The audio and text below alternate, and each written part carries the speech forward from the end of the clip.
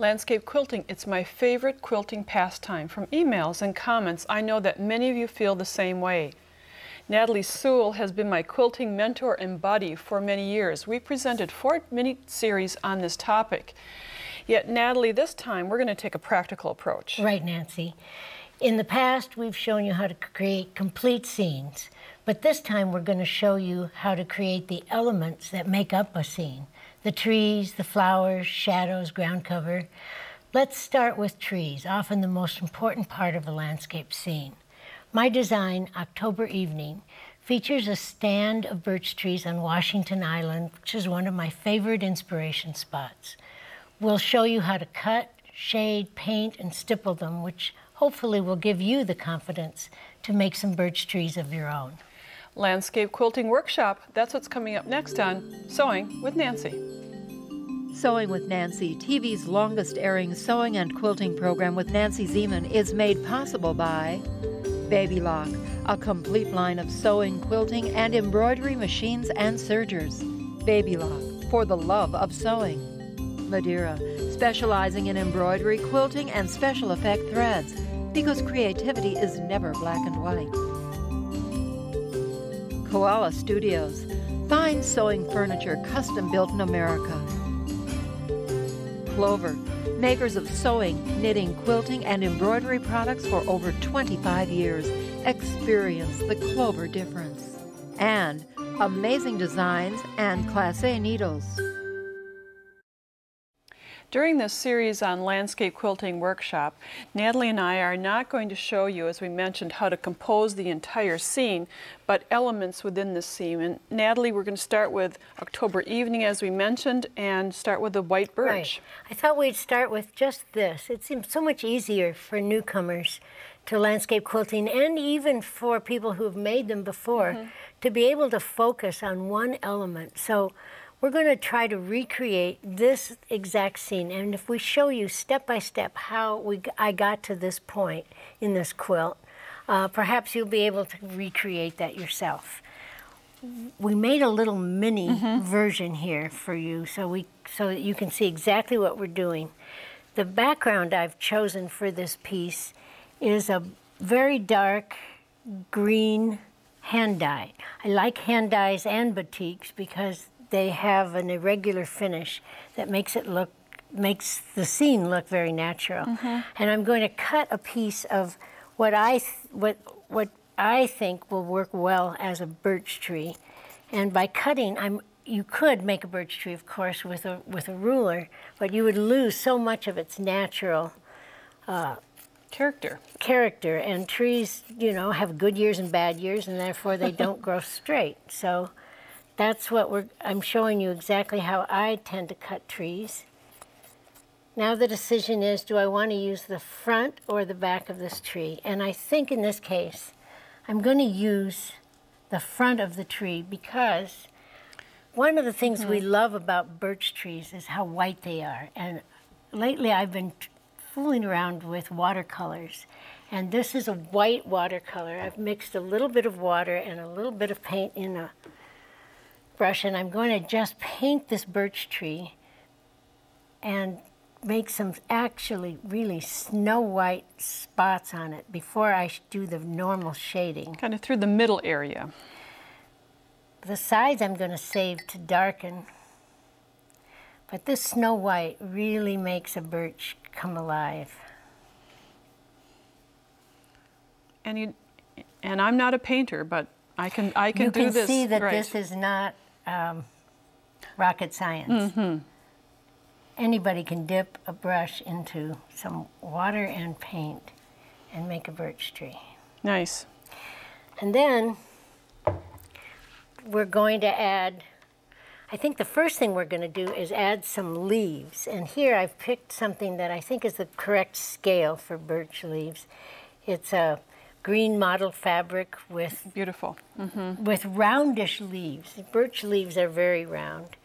And I'm going to show you how I cut leaves. I'm not going to follow every little detail of the leaf itself because we don't need that kind of accuracy. It's better when they're a little messy. I'm going to set these on here. I don't care if I reproduce it exactly. No two leaf branches are the same. And what you might do is flip it to the other side. That's right, and in this case I think I will. Use, now the paint is mm -hmm. still a little wet and we don't care. So here we have the, traditionally the wrong side of the fabric and we would glue these down with a glue stick, paper glue stick, it would dry. Yeah, I'll borrow that. Sure. Starting to take some shape. And then and I'm putting the leaves on now, so that leaves me less of the birch tree to have to shade. Sure. Speaking of shading, you're going to then shade the sides with a permanent marker. And I'm going to decide, well, the light is coming from over on this side. Just a decision to make and be consistent throughout your whole piece. And then I'm just going to shade one side. I'm using a bold black permanent marker. When you're using markers, make sure they say permanent because you your quilt mm -hmm. will mm-hmm. undergo some steaming and some ironing and you don't want bleeding. And then you'd also add, after the white paint dries, some uh, little markings within the middle. And I think I can do that, actually, because you do want, this isn't my markers sort of... they dry out after a while, they right? They do dry out. And here is a little bit of silver. Mm-hmm. That sort of... It's magic. Works to blend the two. And now I'm going to color the leaves a little bit because I have a touch of fall in this scene. And the leaves sort of come alive when they're dotted with Nice. A little color. Well, Natalie is finishing that. Once you've mastered the art of cutting and shading, highlighting a light color tree, you can easily apply the same skills to ma mastering dark trees.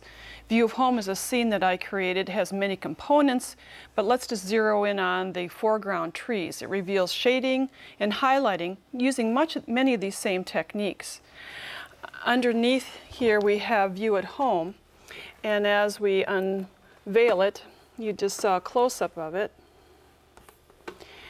the trees in this area are created much in the same way. Instead of working with dark fabric, light fabrics, we're starting with dark fabrics and using the same shading techniques. Instead of using acrylic paint in the middle, white, simply used some yellow in the middle. So it's same technique, different fabric. And those are the basics of working with light and dark trees. Creating a close-up of a tree leads to the next level of landscape quilting techniques. When Natalie taught me the art of combining fabrics and highlighting with oil pastels, it was an exciting revelation. My design, Branching Out, showcases creating texture and sunlight with fabric and shading techniques. Again, we're working with small little pieces, about five by seven, six by eight, and we have lots of fabrics to show you for shading trees with fabric. Now, Natalie, we have three shades of fabric. Right. This time you've picked a, a bark fabric, Nancy, that has looks as if it's dappled with sunlight already, mm -hmm. which is really very nice. But we want to show where the light is coming from in the scene, which adds drama. So instead of using a yellow pastel, which you usually do, we're going to cut tiny strips of this fabric and make it as if the sun were shining on that side of the tree. Mm -hmm. it, it's a very good technique for creating, for shading, instead of just drawing with markers. And then that means that the dark will be on this side of the tree. And if we look here, and I'm just gluing this down with a glue stick. It dries clear. Use it all the time. Works well. Just place it on. You can see it's starting to take some shape. Right. And now it's time to add branch and some leaves. The branch we made from the mid-size bark. And with branches, you have to kind of make sure they have a little curve as in nature. There you go. Your leaf fabric is perfect in terms of size and scale and the way the leaves twist, but I have to say it's a little dull. Yeah, yeah. We, we fussy cut these, as you can see that they are following the shape of the leaf. We have two techn technical terms, fussy cut and messy cut, but they, they don't have a lot of light. And so to add light, the technique is to use an oil pastel or a fabric marker and give it a kiss of sunshine. And a little bit of of orange and sort of a melon color here now and then mm -hmm. to just make it interesting. And obviously we're just quickly putting this together, but this shows you how the shading comes with the use of fabric. Now, Natalie, you've done the same on your quilt called the oak. Right. This quilt features a giant oak. The texture of the tree dominates the scene and was created by black and rust markers on a dark green fabric, followed by intense wavy quilting lines. The process was nerve-wracking, but it, it, was helped along by my having large oak trees right outside my studio window to inspire me. Distant trees are the feature of this next landscape quilting lesson. The red barn in winter is my newest design and was inspired by Todd Klassy's photo in the December 2009 issue of Wisconsin Trails magazine. The hand-drawn trees surrounding the barn are surprisingly easy to make with fabric markers, and we will show you how. When you take a look, close-up look at Natalie's great scene, of course the barn is the feature, but without the surrounding areas, it would pale. So we're going to concentrate on this area because you may find a scene that requires distant trees. And I did use fabric in some of the foreground trees, but I carried it out by just drawing the others. And here's how I did it. First of all, our, our fabrics. We picked a, I picked a hand-dyed fabric that has lots of movement in it to depict a, a Wisconsin winter sky. Mm -hmm. And then this I bought years ago. I thought it would make waving, roll, waving ocean scene, and discovered that if you look very carefully, and landscape quilters know how to look at their fabric very carefully, you see rough snow mm -hmm. splotches, and that's what I used. I messy cut them, and messy cutting is simply the act of making a mess while you cut. And this is how I do it primarily. You find a nice spot here. And your fabric gets equally as messy. Oh yeah, the fabric is always a mess, very hard to fold. But it's just a matter of chewing up the fabric. Mm -hmm. And if you're really precise, this is probably out of your comfort zone, but it really works well, making yes. rough edges. It looks easy. It isn't as easy as students mm -hmm. will tell you. And then simply place it on there and it looks like it's part of the scene. And we've used a glue stick to temporarily position it on, and now the magic comes with using fabric markers, permanent markers. One of the best ways that we dis I discovered accidentally, mm -hmm. really, is if you make a black line and then go along that same line with a silver pen, you have the sense of a tree with shadow and shade. So let me just start.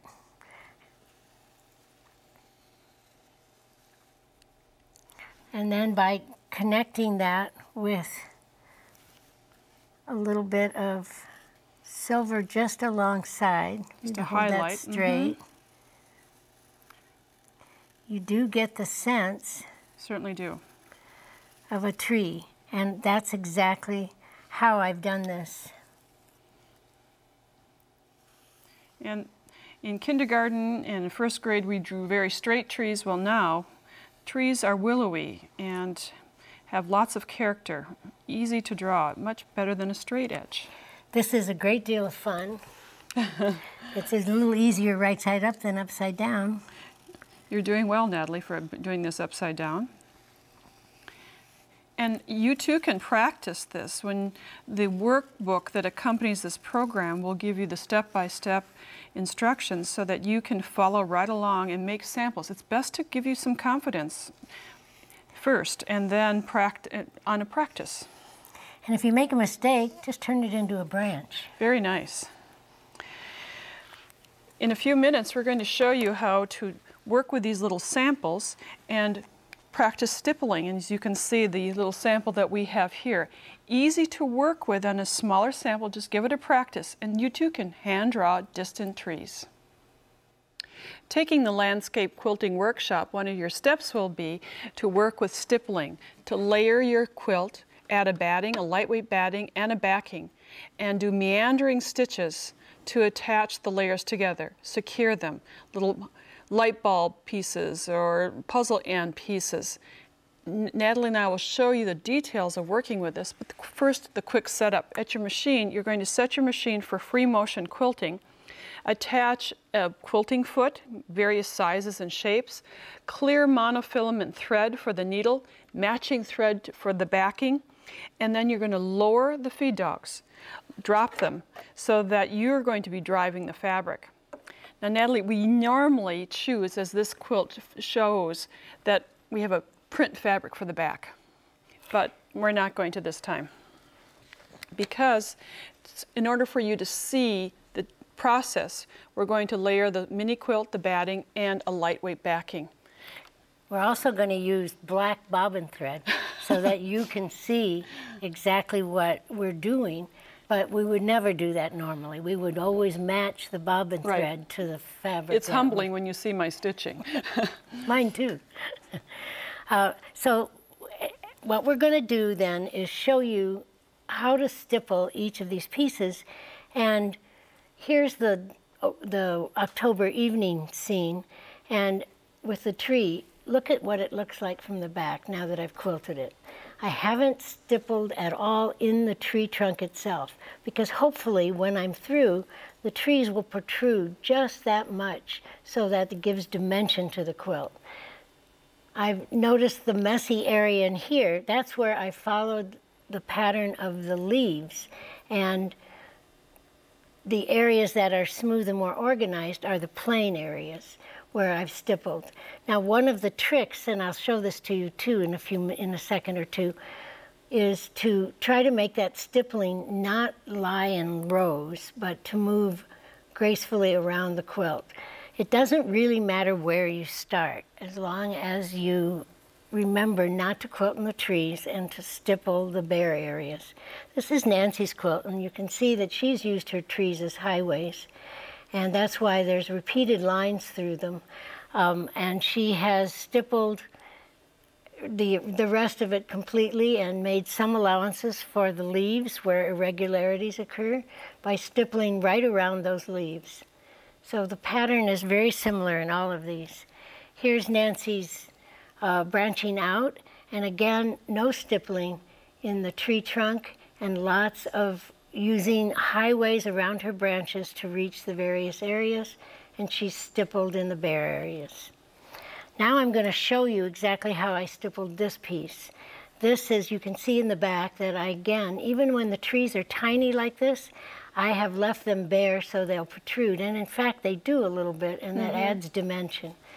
Everywhere else I've stippled, and I'll show you exactly how that goes. So you have the same machine setup as we talked about earlier, and you're ready to practice. That's right. And I'm going to go down one tree, and then instead of crossing the lines, I'm going to go down another tree. No one will ever know, and it doesn't matter. When you come to a piece of uh, fabric that's been glued on or sewed on, you might want to use something to hold it in place as you go. Now I'm going to stipple in the interior of this space, and in order not to make lines, I'm not, I'm going to go in a crooked way. Instead of going straight across, I'm going to go down and then up and then across and down and up and across. Use my tree as a highway and keep going. When I get to the snow, I'm not going to stipple neatly. I'm going to make a mess because I want that to look more like snow. And again, little pieces stick up, you simply hold them down with your needle cutter or whatever. Every once in a while, you get a piece that won't mm -hmm. go down. Mm-hmm. Just lift your feet, lift your needle up and put it down there. As Natalie finishes stippling, you'll notice that these small little samples are perfect ways for you to practice in your landscape quilting workshop.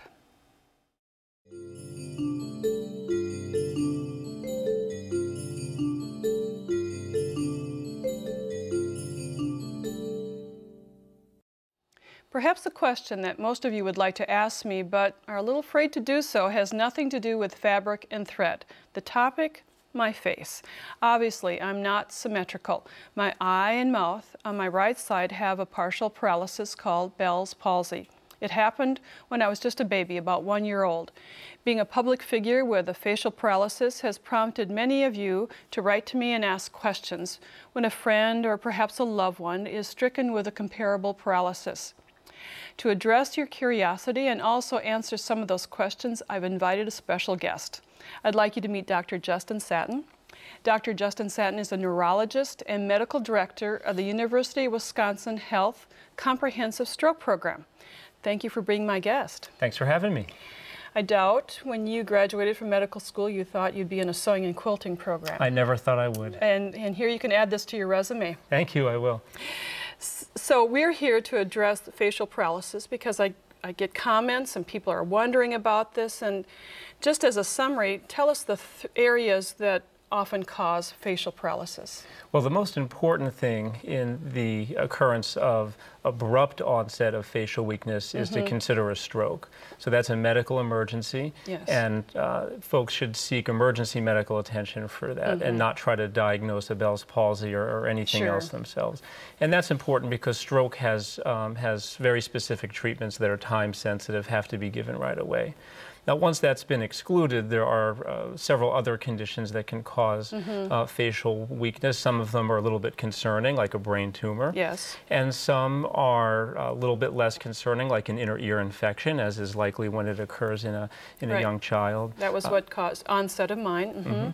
Lyme disease is a uh, known cause of facial weakness, and, and Wisconsin, of course, is an endemic area for, for Lyme disease. And then when other causes have been excluded, and we mm-hmm. and we don't don't know what the cause is, uh, then it's, it's called Bell's palsy, which is, is by definition uh, a facial nerve weakness of, of uncertain cause. And I happen to know it's the seventh cranial nerve. That's correct. It's the seventh cranial nerve. So the treatment, if someone would have an onset of facial paralysis, is as follows. Well, there is now evidence, unlike 50, 50 years, ago, ago yes. that, that there are treatments that can affect the course of this illness. And the, the one for which there's the most evidence is steroids, like prednisone. Mm -hmm. And this is because Bell's palsy is probably caused by some inflammation of that seventh nerve that inflammation may or may not be caused by a viral infection. That's still rather controversial. But irrespective of that, it appears mm -hmm. that giving steroids to reduce the inflammation in the nerve is beneficial for preventing uh, more serious long-term uh, paralysis. Now, in addition to the steroids, we sometimes add some antiviral medication because there's a theory that, that Bell's palsy may be caused by uh, reactivation of a viral infection in the nerve. That's a little bit more controversial, but the steroids are pretty well accepted as a treatment. So if your physician perhaps would say, just go home and it will go away, get a second opinion. I would recommend that, mm -hmm. again, because there is some evidence that treating early with the steroids can really affect Absolutely. the course of the disease. Um, I wouldn't want to just sit on that. And also because there are other things that can mimic Bell's palsy, and it's important to exclude them. Yes. Now, there's a very positive recovery rate. Yeah, the, the prognosis mm -hmm. is mm-hmm. excellent from Bell's palsy in most cases. About 70% of people make a full recovery or near full recovery. Sure. And about 15% of people make a partial recovery, and then about 15% are left with more severe mm -hmm. weakness. The folks who have uh, complete paralysis to begin with, unfortunately, are the ones who are more likely to have some residual weakness of the, of the face. The people whose facial weakness is only fairly mild to begin with have a very good prognosis, and over 90% of those folks make ah. a full recovery. Well, that's encouraging. It is. And it's encouraging that it's being treated with aggression rather than passivity as it was many, many years ago. So there um, also brain tumor perhaps has be a cause of this? That's an important uh, consideration to mm -hmm. think mm-hmm. about when the uh, face becomes weak because sure. uh, there is a tumor that you may have heard of called an acoustic yes. neuroma. Uh, the more technical term is a vestibular schwannoma. But these are tumors that involve the, um, uh, the lining, if you will, of the cranial nerves, usually the eighth cranial nerve, so ah. it would cause hearing loss and balance disturbance. Sure. But if such a tumor were to grow long enough, uh, large enough that it, that it compresses the adjacent seventh cranial nerve, then it could cause uh, facial weakness, or less commonly, the tumor itself can arise uh, from that nerve. So that's an important consideration. Well, Dr. Sattin, thank you so much for being with us and thank you for joining us and perhaps having some of your curiosity answered. If you'd like to go to sewingwithnancy.com, Nancy's Corner, you can find out more when you click under Dr. Sattin's name. Thanks for joining me. Bye for now. Nancy's and Natalie's fully illustrated landscape quilting workshop workbook includes instructions for all the techniques featured in this three-part series. It's $19.99 plus shipping and handling. To order the book, call 800-336-8373 or visit our website at sewingwithnancy.com slash 2417. Order item number BK2417, Landscape Quilting Workshop. Credit card orders only. To pay by check or money order, call the number on the screen for details. Visit Nancy's website at sewingwithnancy.com for more information on this program. Sewing with Nancy, TV's longest airing sewing and quilting program with Nancy Zieman, has been brought to you by Baby Lock, Madeira Threads, Koala Studios, Clover, Amazing Designs, and Klassé Needles. Closed captioning funding provided by Rowenta.